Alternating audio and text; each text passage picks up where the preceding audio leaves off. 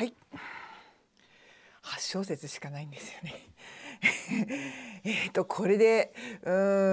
んいい演奏をしようってすごく難しいことだと思います逆にね。うんえっ、とまずはこれってラシドラミーミーシレドシドで結局違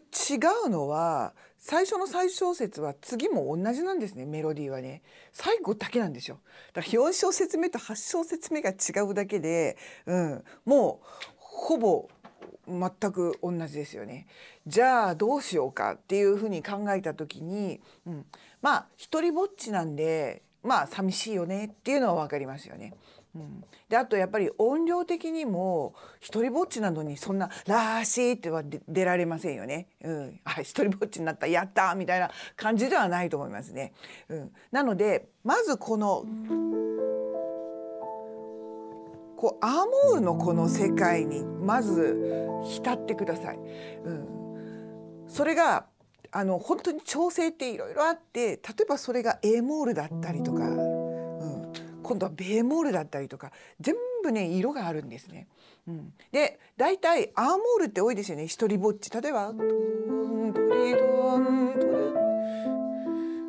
あれもやっぱりちょっとこう裏寂しいというかね哀愁を帯びたような感じのこの蝶なんですけどもアーモールって、うん、まずそのあの調整を自分のこうなんつったら色にしていくっていうそのね作業からやってほしいんですね。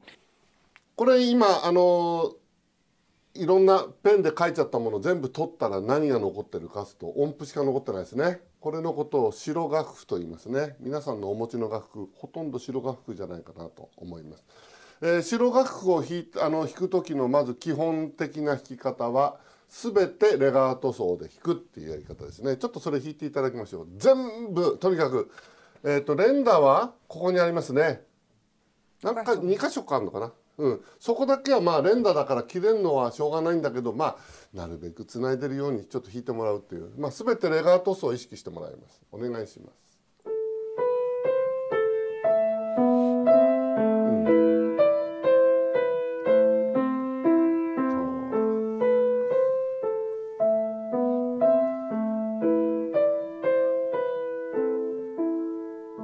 そうそうするとね今の恵子先生のをちょっとあの簡単に解説すると音が大きく飛んだところで深いレガートかけてましたよ。